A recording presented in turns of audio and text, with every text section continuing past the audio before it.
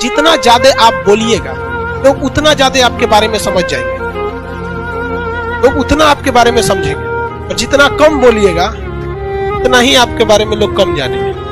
इसलिए कोशिश यही कीजिए कि आप वही